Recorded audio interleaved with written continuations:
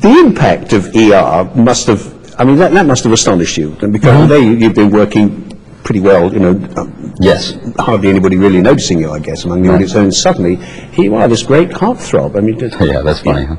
Uh, it's always good to turn around 35 to become a heartthrob. That's always fun. Uh, that gives me, what, two more years of a career? and then I'm, then I'm back on Hollywood squares.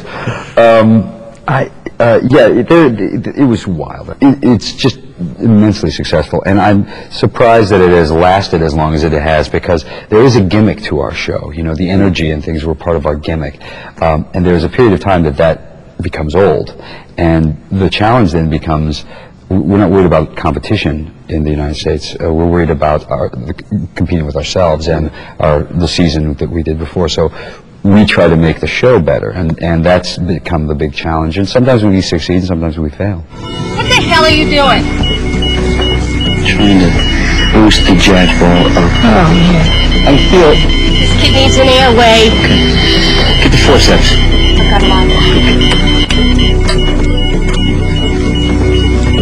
If it feels bad.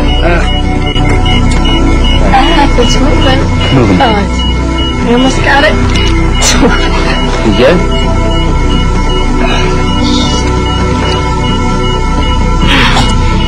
I got it. All right, good. All right. These residents on their way down. Sedated? Heavy at tail. Yep, he's breathing. What on earth made you think to do that? Well, what surprised me is that, you know, after that big impact, um, the, the first movie you chose to star in was From Dusk Till Dawn. A bizarre film. Yeah, well, my intention was to do a, a good part in a, in a good film. This movie came around, and it was an opportunity to work with Quentin Tarantino, who had just won the Oscar for writing the last thing that, that, that he'd written. Uh, Robert Rodriguez, who I think is an innovative filmmaker, Harvey Keitel, Juliette Lewis, uh, Miramax. It was a great opportunity for me. It was also a great part, and it was exactly the opposite of what I do on the show.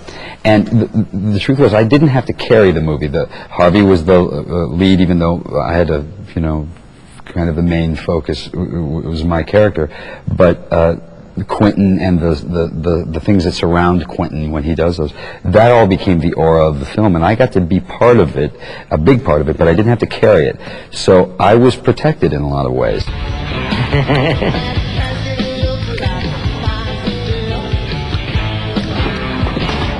You think it was funny?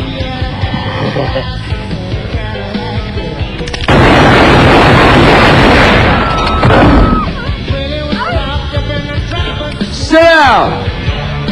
It's, it's a hell of a leap from there to, to One Fine Day, Yeah. isn't it? Know, and, and I gather that mm-hmm. virtually the first thing you had to do on One Fine Day was, was, was to start necking with Michelle Pfeiffer. Day one.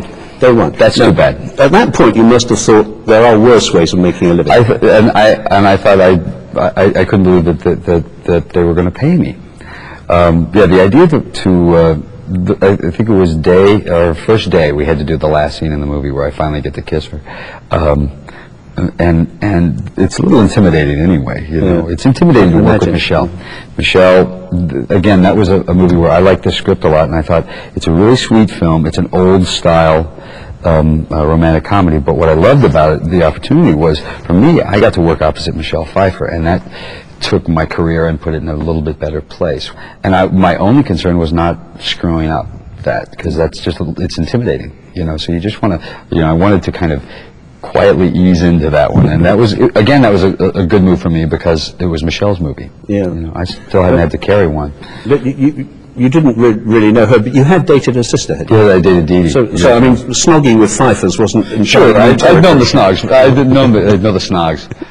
Is that right? Yes, I'd known the Pfeiffers for quite some time. And thanks for bringing that up. Oh, that's all right. Sure. It's okay.